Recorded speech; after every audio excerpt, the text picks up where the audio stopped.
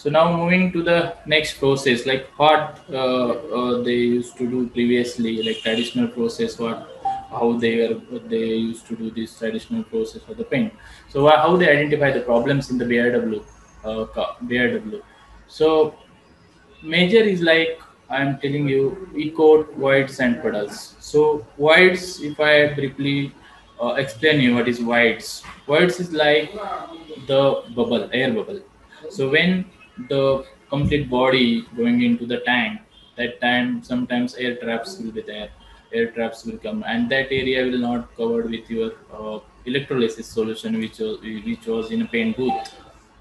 So you have to identify those problems voids physically with the prototype by cutting the parts second is puddles so puddles i will explain like what is puddles is like when your vehicle coming out of the paint solution tank that time some extra extra paint will be there. So that that paint if that paint is there remain there on those metal parts then exactly the extra paint when it comes out of the tank that time with the in the oven process extra paint that will give like a very uh, bad appearance of the vehicle so they used to do prototype vehicles and then cut this section apart.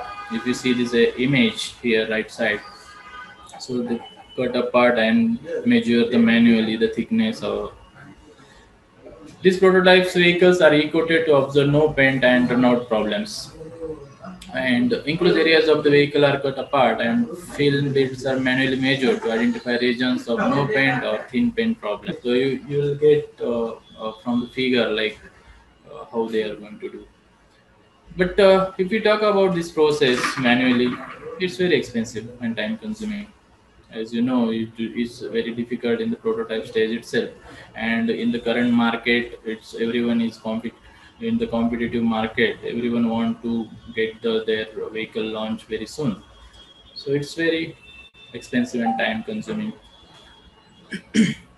also, if we talk about the industry expense and uh, OEM manufacturers. So it's not very easy to have num- more number of prototypes because if you cut uh, for example if you take a 10 prototypes then the time required to analysis these kind of things to identify the problems of the paint or the measure the thickness it's very uh, destructive method so nowadays uh, what what is currently uh, industries are following is like to do the process uh, in modern way. Like uh, we have now um, the computers everywhere so with the help of software we can do the paint studies virtually and give a analysis to the floor paint engineers.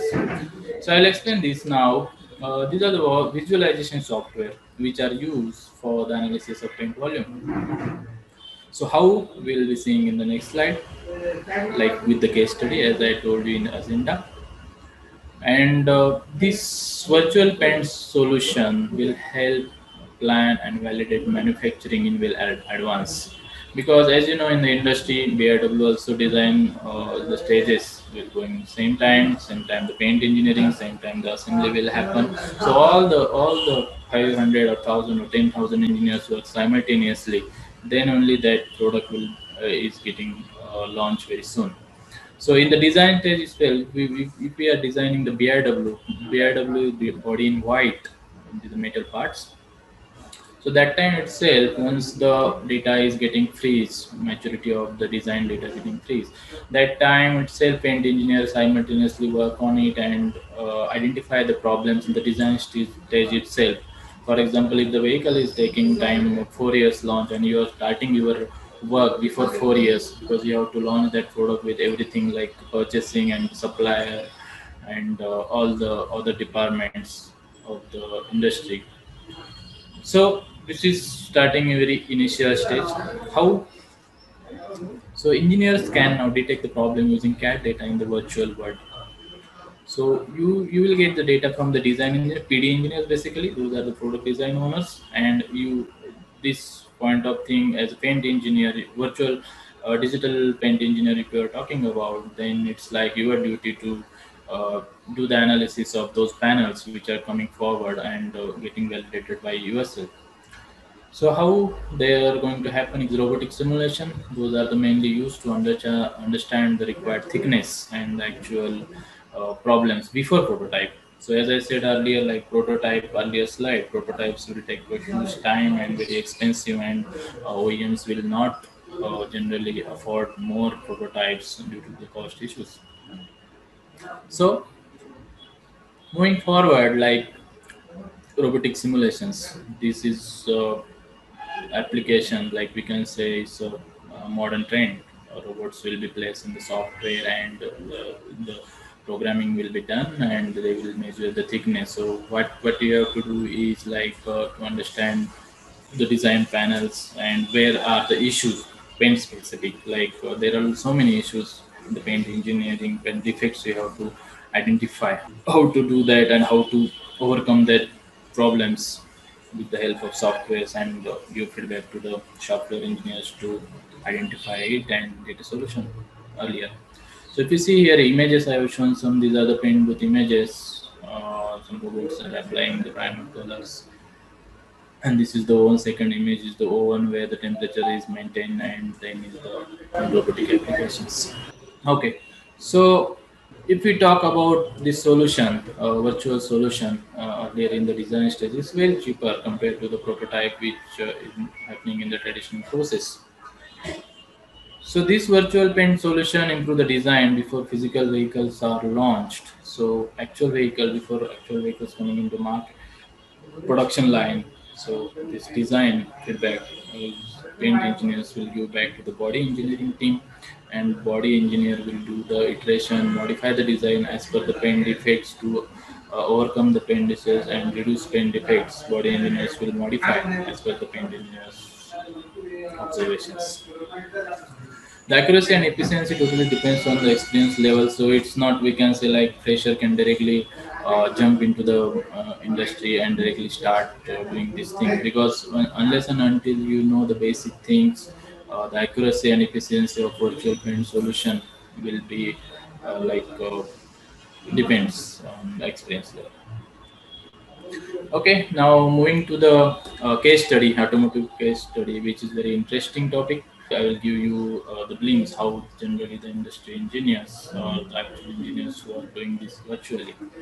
So as I told you earlier, e-coat voids and puddles are common issues occur during e-coat application. As you see in, in the video, when vehicle enters in, into the tank, that time it's uh, like uh, chances are like air bubbles will be there and uh, vehicle cavities will form that's the void occurs during e-coat application yeah. And the second is like puddles. So this is case study based on void and uh, puddles or you can say drainage. Basically to avoid the corrosion we are analyzing these voids and puddles so that the future problem should be less. So when the puddles or drain occur when there is excess of e-coat liquid when vehicle uh, moving out of the tank solution which we have seen. So trap in the cavities vehicle cavity due to improper design or you can say sometimes whatever if you take an example of a, a hood uh, or bonnet so that time when vehicle sometimes inner panel and outer panel there will be some surfaces where the paint solution will be uh, stable there and it will be extra paint. When even though the vehicle comes out of the tank in the horizontal position it will be there and this will create a puddle uh, puddle occurs so that we have to identify virtually with the visualization softwares and it's possible. Same way we can identify the air bubbles as voids. So it's like a very uh, process is like a little what you can say experience uh, uh, depends on the experience you will be analyze, analyzing like how how the issue where where the issue will be there in, the panel exactly where it will come. So you have to apply different different methods. In industry wise if we talk, if i talk about like every industry have different uh, biw uh, entering and uh, uh, out of that tank angles so it depends like bmw or we can say Ford have different standard, BMW, BMW have different standards. likewise it depends industry to industry. So we need to understand here like how to identify it. So we'll move ahead like the softwares which will identify the regions of voids or the air bubbles on the metal part. So, and the drain form when a complete body in white of the position to represent the entrance, horizontal and exit position with respect to virtual world. So, this process we have to do in the software. Uh, as this is only the overview, so I'm not able to cover it uh, practically. But yes, of course, we can do with the help of software. Uh, this is a fully automatic process and calculate the locations as well as volume of air bubbles So automatic when you get the result you have to um, highlight those issues. Back to the body engineers you have to apply different different angle, angles like decline position incline position. Also uh, you have to make sure like uh, uh, these things. In just a second so you, you have to understand like these issues must be captured and earlier and not get highlighted back so that the quality of product or the manufacturing issues will be very less and product will be quality. So we'll move to the next slide. What are the merits of virtual paint simulation? So paint analysis gives report with surface area calculation. So as I said earlier, like void and drains, similarly we can do the surface area cal calculation of a, a class surface. We also do the eco paint volume requirements in the virtual software itself and give that to the industrial engineer to get it uh, on the process on the production line and uh, similarly design engineers to the modification of BIW panels simultaneously because whenever whenever we find like here is the uh, voids going to be a problem and this cavity will be going to place with the uh, visualization software then body engineer will look into it and get it to uh, redesign and again send back to us to the, the next iteration. So this is continuous process continuous cycle data freeze until the data finally get freeze Virtual paint study, void and drain, as I already explained, like these mean necessary changes in the BIW panels. Then thickness analysis, so complete body, complete BIW, body in white thickness analysis report of uh, we can send to the paint specialist for the further understanding and to avoid the mistake. Thus, the, finally, it's like it's perfect corrosion protection on each and every vehicle, each part, every area should be covered and mainly major area should be covered like which is visible to the customer. If we talk about the time and cost saving solution, then definitely compared to the traditional process, it, it is a very uh, cost saving process.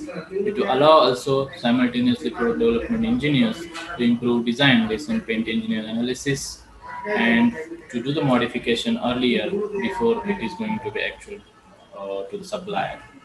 So these are the some merits of the virtual paint simulations.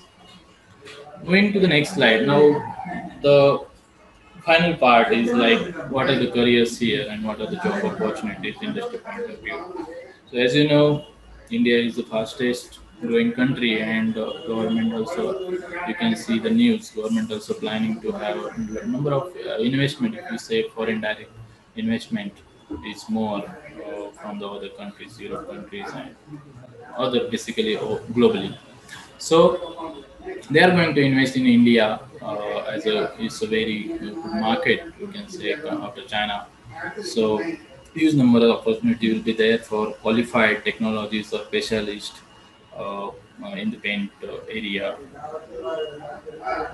MNCs, if we talk about the auto industry or furniture manufacturers, consumer durables, construction industries, everywhere paint is required. So if you are a very good specialist in the paint, then definitely the opportunity will be there. Then the digital manufacturing solution. So if we talk about the now time and cost saving solution.